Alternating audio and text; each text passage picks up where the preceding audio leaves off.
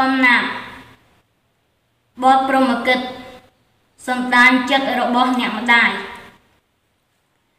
ពេលកូនមកចាំប្តីក្នុងហាងតីម្ដាយសំបាយ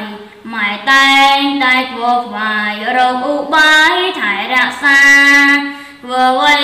តែងប្រយ័ត្នមិនឲ្យភ្លន់ខ្លាចប្រាំងពីឲ្យកូនបានសង ជាម្ដាយជានេះគំពីស្ងួនសូនើយព្រួងថ្លើមថ្លៃរងចាំថ្ងៃប្រសូននួនបានឃើញមុំកូនស្ងួនថ្នមថែធួនព្រោះស្រស់ឡាញ់